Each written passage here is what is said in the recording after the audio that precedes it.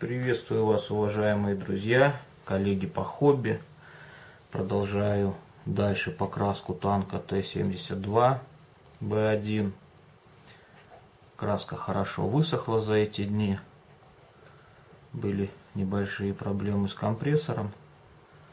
Поэтому пока я его ремонтировал, прошло немного больше времени, чем я планировал. Вот так танк выглядит на данный момент. Буду краску мешать с краски Мистер Хобби H78 Олив Драп и Олив Грин краска фирмы Томия XF58. Сейчас примерно намешаю, посмотрю какой получается цвет и буду красить. Развел, подготовил краску и теперь начну красить днище танка. Краску развел жиденько. Слой должен быть не толстый, чтобы краска не закрыла нашу технику покраски черная-белая или проще сказать наш пришейдинг.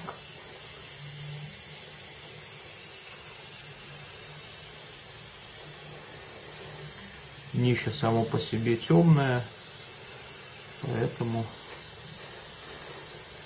его можно было красить не сильно разведенной краской.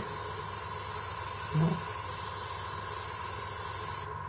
лучше лишний раз нанести лишний слой, чем перестараться.